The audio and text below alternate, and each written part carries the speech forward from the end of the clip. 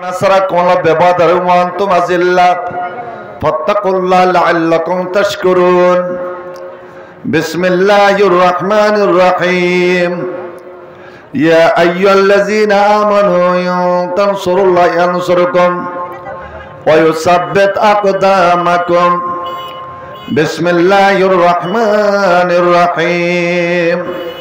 قل إن كنتم تحبون الله فاتبعوني يحببكم الله ويغفر لكم ذنوبكم والله غفور رحيم. وقال النبي صلى الله عليه وسلم لا يؤمن أحدكم حتى أكون أحب إليه من والده وولده والناس أجمعين. وقال अल्लमो सिबियानकुम ओम अबनाओ सब इसनीन रब शराली सदरे वयसरले अमरे वहलुल उक्दतम मिन लिसानी यफकहु कौली रब जिदनी इल्मा रब जिदनी इल्मा रब जिदनी इल्मा চলো মুসলমান, চলো। জেহাদের ময়দানে চলো। শহীদের ঈদগায়ে চলো। চলো মুসলমান, চলো। শহীদের ঈদগায়ে চলো। জেহাদের ময়দানে চলো।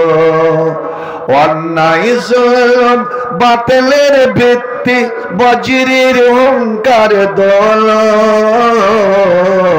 চলো চলো মুসলমান, চলো, জেহাদের ময়দানে চলো, শহীদের ঈদগাহে চলো। অশান্ত এই পৃথিবীতে মানবতা আজ বন্দি। অবিচার, অনাচার বাতিলের সঙ্গে হয়েছে যে শয়তানের সন্ধি। তাওহিদ হীরা রাহে জাগরে, কুফুরির বুনিয়াদ ভাঙ্গরে। তাওহিদ হীরা জাগরে কুফুরির বুনিয়াদ ভাঙ্গরে, কোরআনের শামশির হাতে তুলে নাও বীর, কোরআনের শামশির হাতে তুলে নাও বীর, জিহাদির ময়দানে চলো। চলো চলো মুসলমান, চলো, জেহাদের ময়দানে চলো।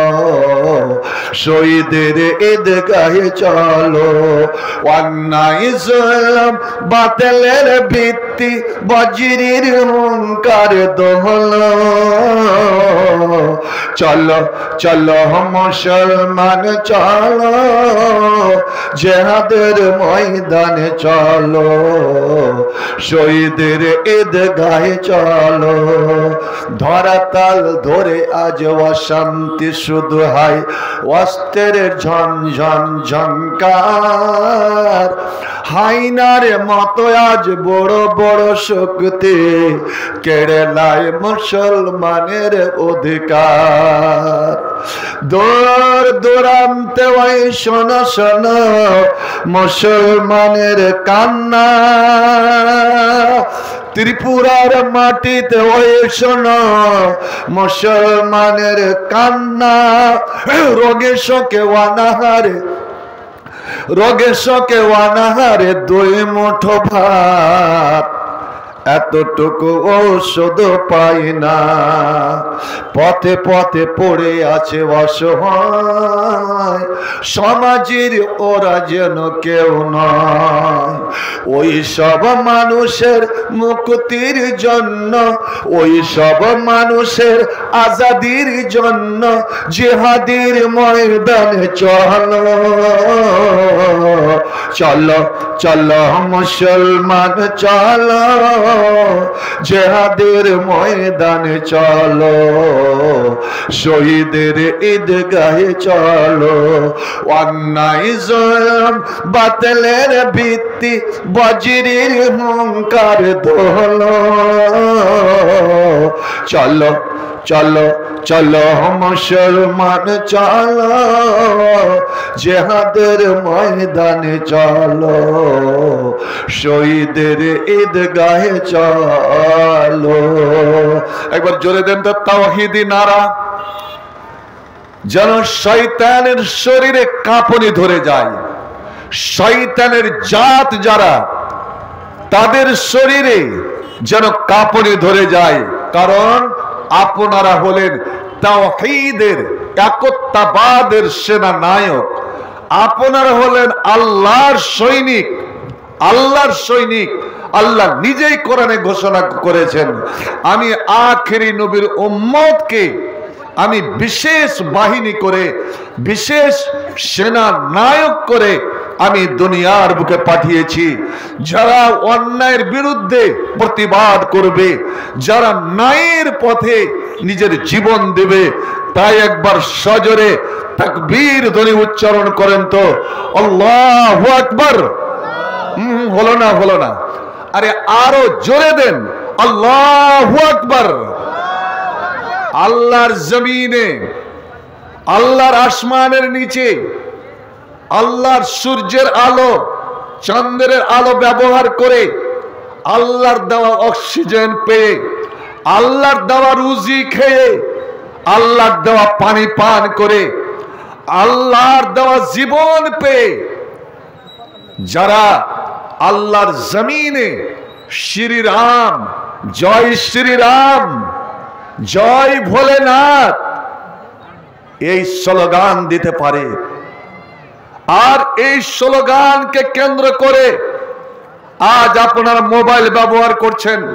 আমি যুবকদের বলছি, তোমাদের রক্ত কি জমাট বেঁধে গেছে? যে আজ কতগুলো বয়স্ক মানুষ, আমার শিক্ষক ওস্তাদ, আমার ওস্তাদ, আমার সভাপতি সাহেব, এরকম মানুষকে বাধ্য করছে। জয় শ্রীরাম বলো। বলো জয় শ্রীরাম।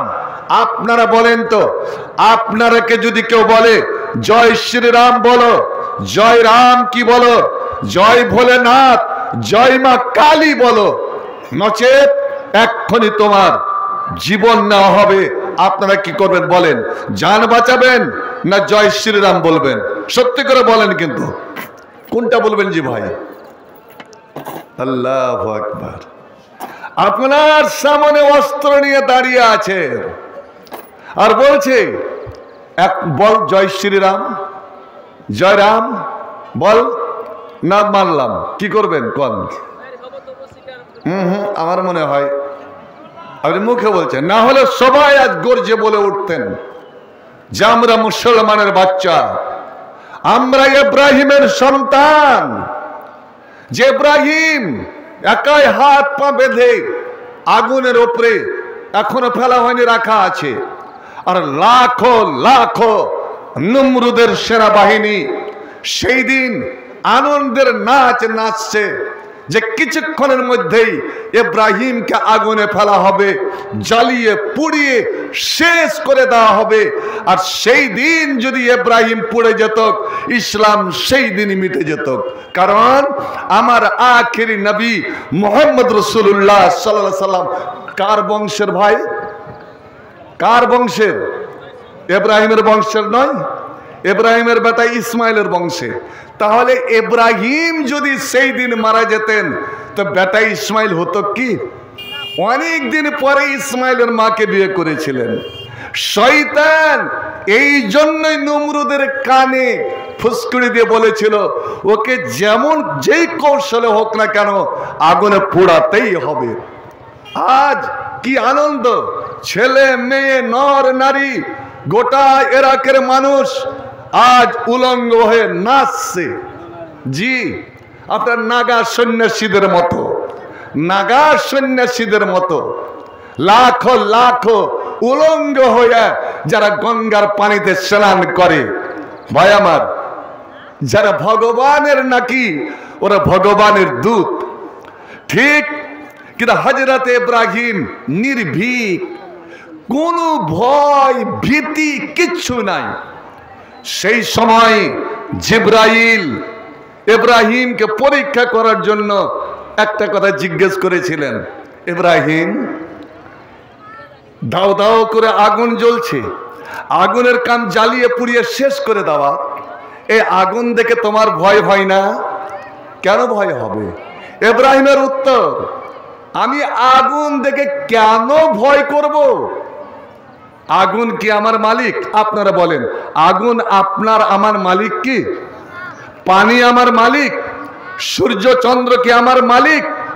আজ দেখুন, সব কিছুরই ওরা পূজা করে।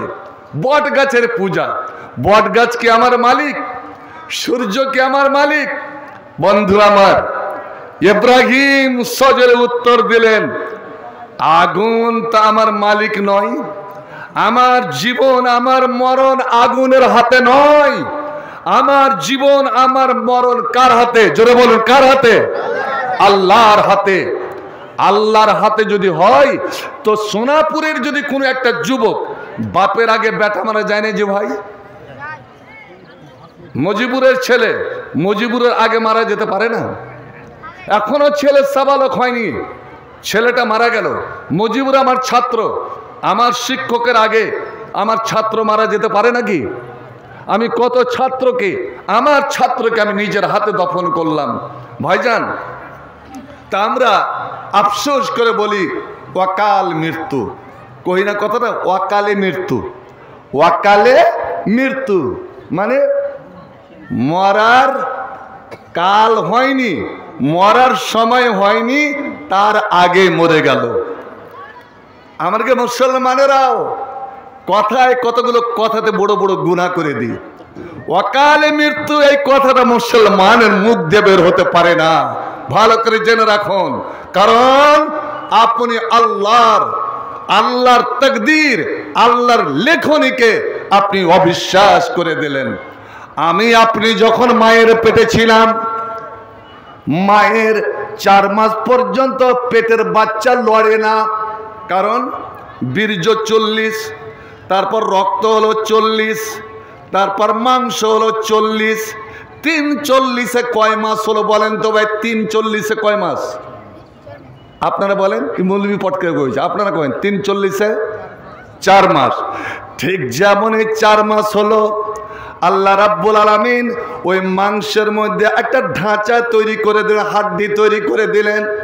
ছোট্ট একটা পুতলা, তার চেহারা সব কিছু তৈরি হয়ে গেল। ওই সময় বাবা সাল্লাম মালাকান আল্লাহ একজন ফেরেশতাকে পাঠিয়ে দেন মায়ের বুকে, মায়ের পেটে, এ ফেরেশতা, তুমি যাও। ওই যে মেয়ে ছেলেটার গর্ভে বেটা বা বেটি যেই থাক না কেন এই রুহটা নিয়ে গিয়ে এই জীবনটা নিয়ে গিয়ে তার নাক দিয়ে তুমি ভরে দাও। যেমন নাক দিয়ে বাচ্চার পে বাচ্চার ভেতরে ওই জীবনটা দিয়ে দেওয়া হলো, প্রথম মায়ের পেটে বাচ্চা লড়ে উঠল। লড়ে উঠল। বন্দরে আমার। এবার ফিরিস্তা বলে, আল্লাহ কি করব? আল্লাহ রাব্বুল আলামিন বলেন বেআরে আমি তোমাকে যে চারটা কথা দিয়ে পাঠিয়েছি, ওই চারটা কথা তার কপালে সুন্দর করে লিখে দাও। চারটা কথা। সেই দিনই, যেই দিন আমি মায়ের পেটে ছিলাম মাত্র চার মাস। এই জন্য একটা মশলা জেনে রাখুন। আজ বলে যাচ্ছি আপনাদের। অনেক জায়গাতে ফোন আসছে বলে না এই আপনার এখানকার মোহনপুর রে, এখন পালিয়ে গেছে হঠাৎ পাড়া। ওই শান্তিপুর না শান্তিনগর বলছে, মুলবি খালিলুর রহমান। মাল্লা আট মাসের বাচ্চা পেট থেকে মানে একদম পুরা বাচ্চাই হয়েছে, কিন্তু মরা। এর জানাজা গোসল টোসল হবে কি হবে না? আমি বললাম, কয় মাস? বলছে, আট, ন মাস হয়ে গেছেন কিন্তু বাচ্চার চোখ ফুটেনি। শুধু চোখ ফুটতে বাকি। আমি বললাম, ওর গোসলও হবে, কাফনও হবে, জানাজাও হবে। কারণ সাত মাসের, ছয় মাসের আট মাসের নয় মাসের যখন বাচ্চা, মরা বাচ্চা মার পেট থেকে হলো, যার মানে বাচ্চা জীবিত ছিল, ওই মায়ের পেটেই মারা গিয়েছে। চার মাস যখন বয়স হয়, তখনই মানুষের ওই বাচ্চার শরীরে জীবন দিয়ে দেওয়া হয়। জিন্দে বাচ্চা যদি মার পেটে মারা যায়, ওই বাচ্চার গোসল হবে, লাড়ি কাটা যাবে, কাফুন পরানো হবে, এবং তার জানাজাও হবে। চার মাসের আগে যদি বাচ্চা নেমে যায়, তাহলে যেভাবে নেমেছে, ওইভাবে নিয়ে গিয়ে পুঁতে দিতে হবে। তখন জানাজা টানাজা কিচ্ছু নাই। তো বন্ধু আমার, আল্লাহ রাব্বুল আলমিন বলেন, ওর কপালে চারটা কথা লিখে দাও। কি কি? তার মধ্যে আজা লহু কতদিন বাঁচবে, কত বছর কত দিন কত ঘণ্টা, কত মিনিট, কত সেকেন্ড, সব লিখে দেওয়া হয়েছে। এক সেকেন্ড, না আগে, না পরে। এবার বলেন তো, আমার যদি মরণ না থাকে, করোনা আমাকে মারতে পারবে? জোরে বলেন, মারতে পারবে? তাহলে লাখের টুনি কিনে বাঁধলেন? কেন? ওই আগে আগে গরুর মুখে টুনি বেঁধে দায় মারত। তা আপনার এই টুনি বাঁধলেন? এখান দিয়ে যেন করোনা না ঢুকে যায়। তো অন্য তো অন্য জায়গাতে তো ছিদ্র আছে, পিছন দিক দিয়ে যদি ঢুকে যায়। ঢুকতে পারে নাকি? আমি এক মসজিদে গেলাম, নামাজ পড়ব, ঠিক লকডাউনের সময়। আমি ভাবছি জামাত ধরবো। তো দেখছি ইমাম আর আটটা লোক। তো বড় মসজিদ আটটা লোক যে দাঁড়ালছে, তো দেড় হাত পনে দুই হাত ছাড়া ছাড়ে। দেড় হাত পনে দুই হাত ছাড়া ছাড়ে। আহলে হাদিসের মশলা হলো, হাদিসের মশলা হলো, নামাজ তোমার কবল হবে না। যতক্ষণ তোমার পায়ে পা গুল্লাতে গুল্লা গিটে গীত, ঘাড়ে ঘাড় না সাঁটবে, তোমার নমাজি আল্লাহর দরবারে পূর্ণ হবে না, আর পূর্ণ না হলে নমাজ কবুল হবে না। এই জন্য আহলে হাদিসেরা তো পায়ে সাঁটিয়া, পায়ে পা লাগিয়ে খাড়ো হয়, কি হয় না জি ভাই? কিন্তু কোথায়? নবী কোন জায়গাতে বলেছেন যদি কোনো বিপদ আসে, যদি কোনো অসুখ বিসুখ হয়, তবে তোমরা দূরাদূরি খাড়ো হয়ে যাবে, এতে নামাজ হয়ে যাবে। আমার নবী তো কোনো জায়গায় বলেননি, বরঞ্চ নবী বলেছেন তোমরা দাঁড়িয়ে নামাজ পড়ো, আর যদি অসুখের কারণে দাঁড়াতে না পারো, তো বসে পড়ো। বুঝতেও যদি না পারো, শুয়ে তুমি পড়ো। শুয়েও তুমি যদি না পারো তবে এইভাবে চোখের ইশারাতে ইশারাতে নামাজ পড়ো। নবী নামাজের কথা বললেন, তুমি যদি পানি ছুঁইতে না পারো অসুখের কারণে উজু না করতে পারো, খুব বুড়ো বয়স হয়ে গেছে, ঠান্ডা পানি, ঠান্ডা পানিতে আমার ক্ষতি হবে, তাহলে তুমি তায়াম্মম করো। ভাই আমার এতগুলো সব বললেন, কিন্তু নবী কোথাও বললেন না। যে তোমরা যখন কোনো ভয় পাবে, যখন অসুখ বিসুখ আসবে, ওই অসুখ বিসুখের সময় দূরাদূরি দাঁড়ালেও তোমাদের নমাজ হয়ে যাবে। আমার নবী কোথাও কিন্তু বললেন না। ভাইজান, আমি কিন্তু দাঁড়িয়ে আছি। জামাতে নামাজ পড়ছে, সুন্নাত নামাজ পড়ছে না ফরজ? তো দেখছি না তো। ইমাম যখন রুকুতে যাচ্ছে, এরাও রুকুতে যাচ্ছে, ইমাম যখন রুকুতে উঠছে, এরাও উঠছে। এবার সিজদাতে গেছে। আমার কিন্তু মন চাইলো না, মন মানলই না যে জামাতে আমি ধরবো? কারণ আমি কোনখানে দাঁড়াবো? আমি পায়ে পা না সাঁটিয়ে আমি তো হান ফিরগো পায়ে পা সাঁটিয়ে দিই এক হান ফি করেছি কি পা টানতে লেগেছে। আর আমিও পা নিয়ে যেতে লেগেছি। যেতে যেতে দেওয়াল পারছে কিন্তু। এবার ওদিকে দেওয়াল হয়ে গেছে, আর তৈরি করতে পারে না। হুম, তোর পায়ের উপরে পা উঠিয়ে নিয়েছে। তখন আর বা পায়ে পা সাটিয়ে দিয়েছে। ও তখন করেছে কি, কত বদ, কত জিদ্দি। ও নমাজ ছেড়েই কিন্তু গাইল দিয়ে চলে গেল। নমাজ ছেড়েই। আমি আজ তোকে আমি ছাড়ছি না, ভাই আমার। কারণ নবীর হাদিস কেন হাদিসের মুখালেপত করব। ওরা বলে কি জানেন? আরে হাদিসটা সহি। আমরাও মানছি, কিন্তু আমার গে ইমাম যে এটা বলেছে সুবহান আল্লাহ বন্ধু আমার আমার আল্লাহ বলছেন, তোদের ইমাম যদি ভুল বলে থাকে, তোদের বাবা মা যদি অন্ধকারে, কোন গোবরের মাদে যদি পড়ে থাকে আদম পি জালালে মবিন, তোদের বাপ দাদারা, তোদের চোদ্দ পুরুষেরা যদি ভুল পথে থাকে, এরা তোরাও কি ভুল পথে থাকবি না কি বল? জি, তোদের বাপ দাদারা অনেক কিছু করত। বিবাহ সাদিতে তিন দিন ধরে হলদি মাখামাখি করত। ঘোড়া মলা করে ছোঁড়া কমলতক ছুঁড়ি কমলতক তাই বলে, তোরাও আজ মলবি শিক্ষার যুগে? হ্যাঁ ভাই আমার আমার মেয়ে ছেলেরাকে দেখেছি আগে আগে? এক এক মাস আগে থেকে বিহা লাগবে, তার আগে থেকে গীত শুরু করে দিল, গীত শুরু করে দিল। এখন গীত গালা আছে কি? অনেকটা পরিবর্তন হয়েছে। গীত নাই। মা বোন, শুনে রাখো। গীত যদি তোমার জন্য জায়েজ হতো, তাহলে আমার আল্লাহ কোন মেয়ে ছেলেকে নবী করে পাঠাতেন। কোন মেয়ে ছেলেকে আল্লাহ নবী করেছেন জি ভাই, জোরে বলুন। নবী করেছেন? কোন মেয়ে ছেলেকে শুনেছেন? শরীয়তে যে মেয়ে ছেলে আজান দিলে ওর আজান দেওয়া চলবে? তো মেয়ে ছেলের যদি আজান দেওয়া নিষেধ হয়, ওরা যদি আজান না দিতে পারে, একামত না দিতে পারে, ওরা যদি মেম্বারে দাঁড়াতে না পারে, তাহলে গীত গাওয়া কেমন করে একটা মেয়ে ছেলের জায়েজ হবে বন্ধু? ভাই আমার, পুরুষ ছাড়া, এই যে দেখেন, একটা কথা না বলাই, আমার মনে হয় হাদিসটা শুনেছেন কি না শুনেছেন? মোয়াত্তে মালিকের হাদিস। হাজিরাতে উসমান রাজি আল্লাহ তালানহ খলিফা অফিসে বসে আছেন আরও দশজন বিশিষ্ট সাহাবা আছেন। এমন সময় মুজিবুর রহমানের মতন একজন এরকম ছেলে হাঁপাতে হাঁপাতে গিয়ে বলছে আমির আল মুমেনিন, ইন্নি কার হালাক্ত। আমিরুল মুমিনিন, আপনি আমাকে বাঁচান, আমি ধ্বংস হয়ে গেলাম। কি হয়েছে? বলছে, আমি একটা বিয়ে করেছিলাম, একটা সুন্দরী মেয়েকে বিয়ে করেছিলাম। তো ভালো করেছ, বিয়ে তো যুবকদের করতেই হবে। বলছে, না বিয়ে তো করেছি। আজ আমার বিয়ে হওয়া ছয় মাস হলো। আজ আমার বিয়ে হওয়া ছয় মাস হলো। বেশ বেশ ভালো কথা। ছ মাস হতে পারে, সাত মাস হতে পারে। আজ আমার কত কে ষাট বছর আমার মলনার বিয়ে করা বোধ হয় পঞ্চাশ বছর কেটে গেছে। হতে পারে। ছয় ছয় মাস হলো কী হলো?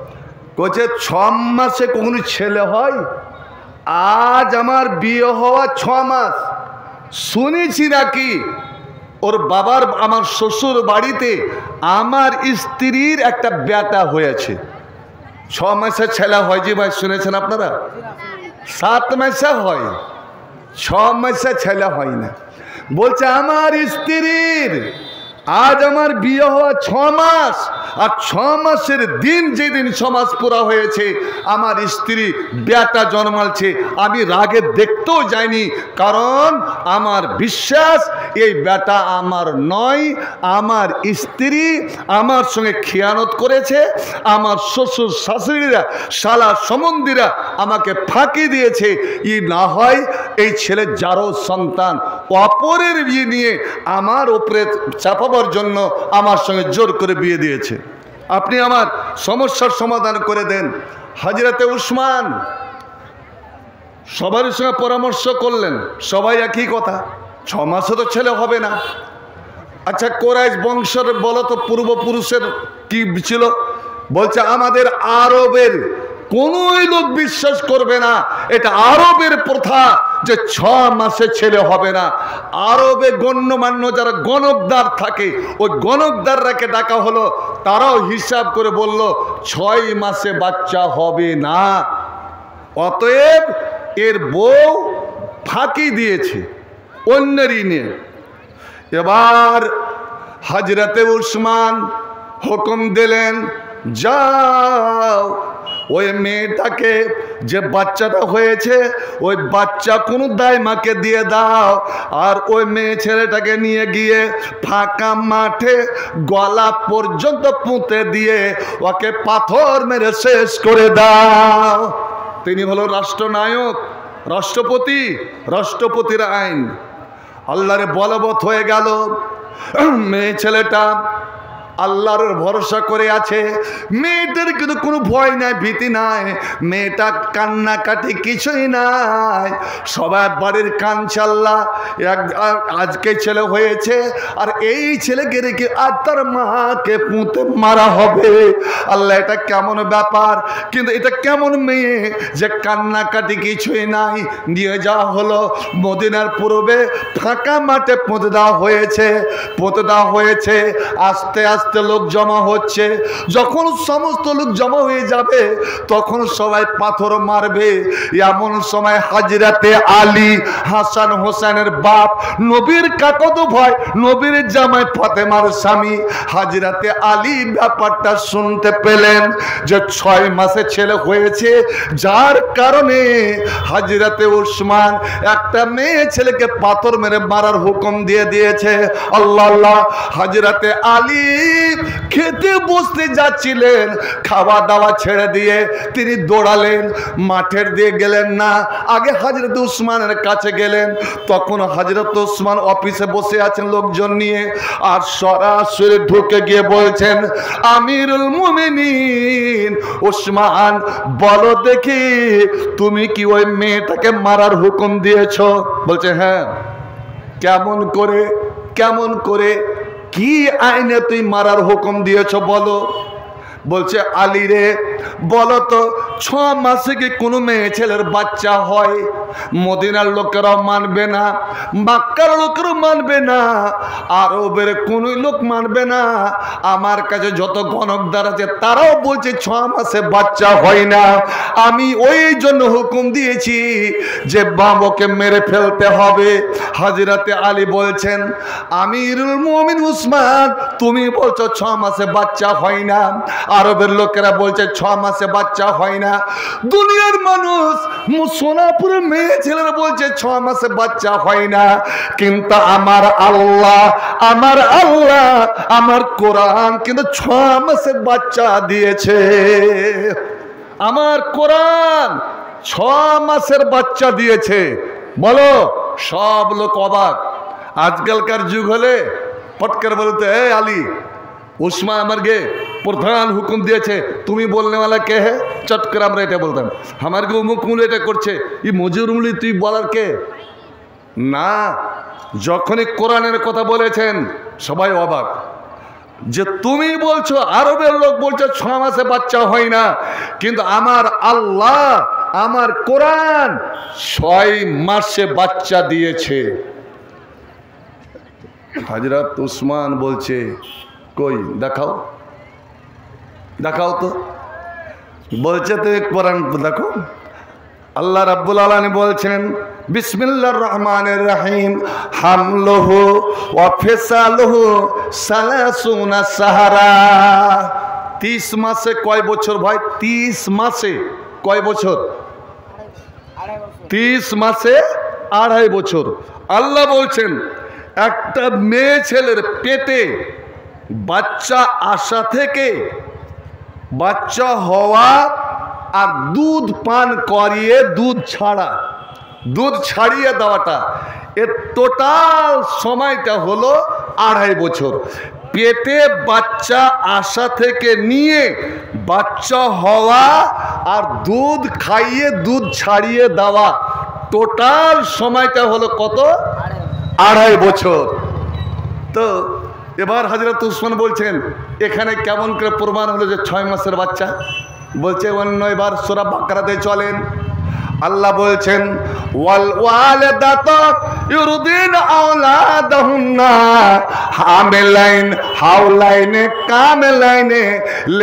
আরাদ রেজাআ যদি বাচ্চা হওয়ার পরে ছেলের মাকে ছেলের মাকে পুরুষ যদি তালাক দিয়ে দেয়, আর ওই পুরুষটা বা মানুষ বিচার করে যদি মেয়েটাকে অনুরোধ করে, তোমাকে তো তালাক দিয়ে দিল, তে বাচ্চাটাকে তুমি দুধ খাওয়াও। ও যদি দুধ খাওয়াইতে রাজি হয়, আর পুরুষটা যদি ওর দুধ খাওয়াই তাহলে কতদিন দুধ খাওয়াবে? একটা ছেলের দুধ খাওয়ার সময় ছোট ছেলের কতদিন দুধ খাওয়ার সময় যাবে বলেন তো? আমরা বলি এ আমার ছোড়া এত হাট্টা কাট্টা কেন হয়েছে জানো? চার বছর দুধ খেয়েছে। হারকে ছোড়াকে চার বছর দুধ খাওয়ালছি। যেসব মেয়ে ছেলের যেসব মায়েরা আড়াই বছর তিন বছর ধরে চার বছর ধরে ছেলে পেলেকে দুধ খাওয়ায় ওর গে ছেলে পেলেকে এহেড়া লাগে বেশি। পেট ঢাইয়া পিছা পুইয়া মাথা ঢেল হয় বেশি। কেন?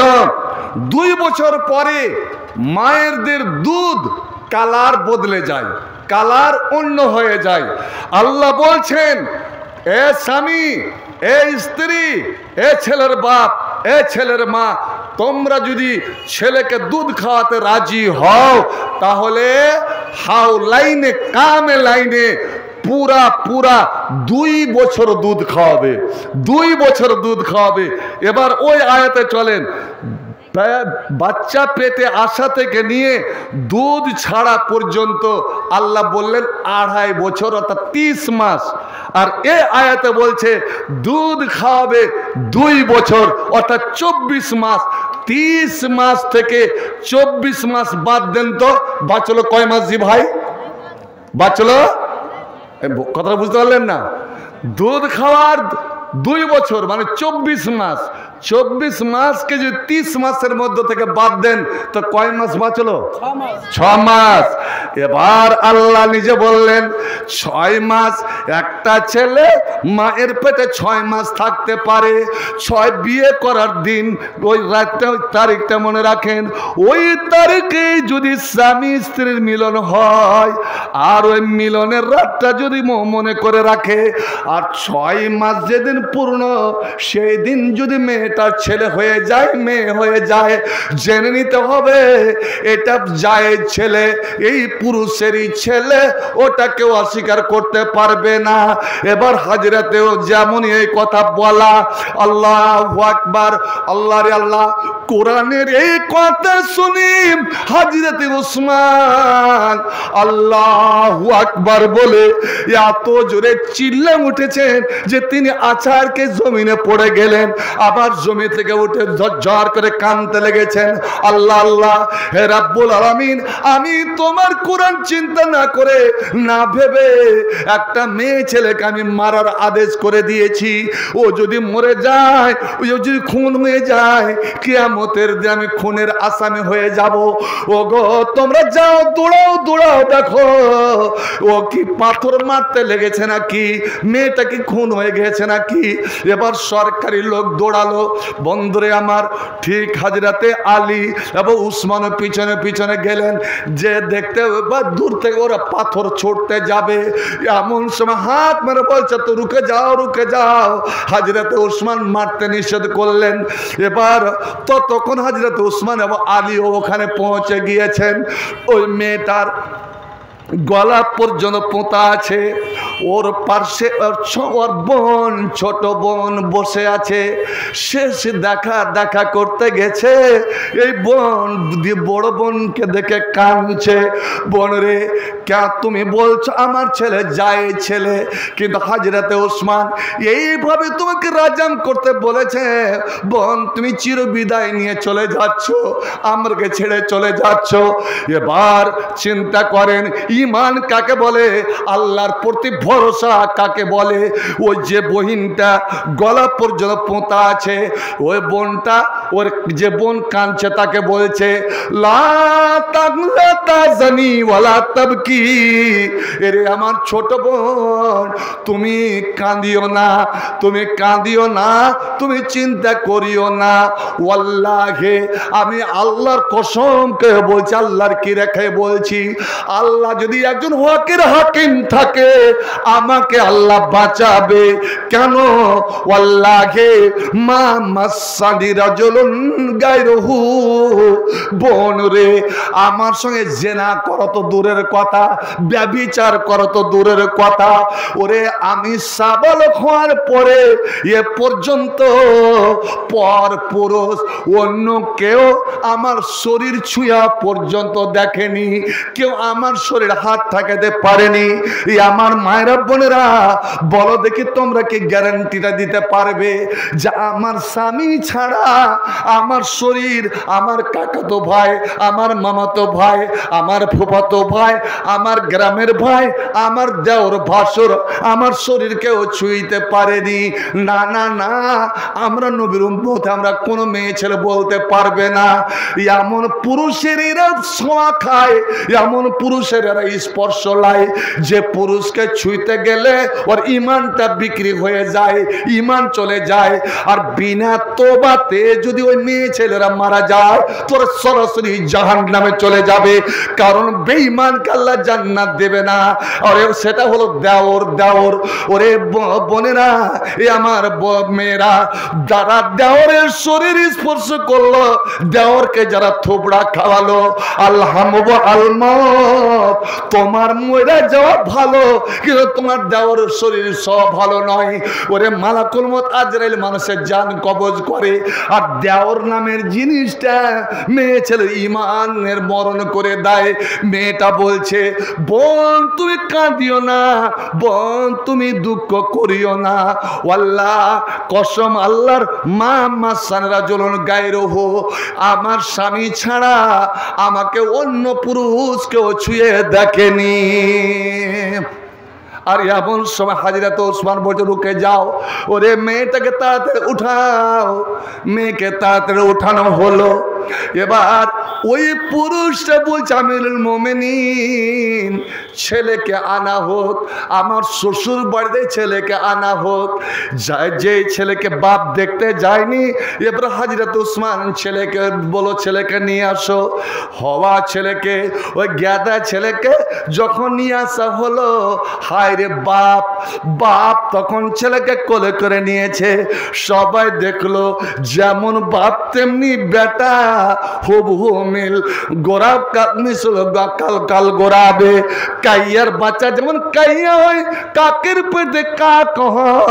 মুরগের পেটে যেমন মুরগি হয়। একটা মিল থাকে, ছেলে মেয়ে হয়, মায়ের সঙ্গে মিল থাকবে না হয় বাপের সঙ্গে মিল থাকবে। এই ছেলেটা এবার বাবা বলে উঠছে আমির মোমেনিন, আমি কত বড় অন্যায় করেছি, আমি না দেখে আমি আমার বিবির উপরে ইলজাম লাগিয়ে দিলাম। আজ হাজরতে আলী যদি না থাকতো, তবে কত বড় ভুল হয়ে যেত। যে আমার স্ত্রী খুন হয়ে যেত, ওই খুনের দায়ী আমিও হয়ে যেতাম, ওই খুনের দায়ী আপনিও হয়ে যেতেন। কি বোঝা গেল?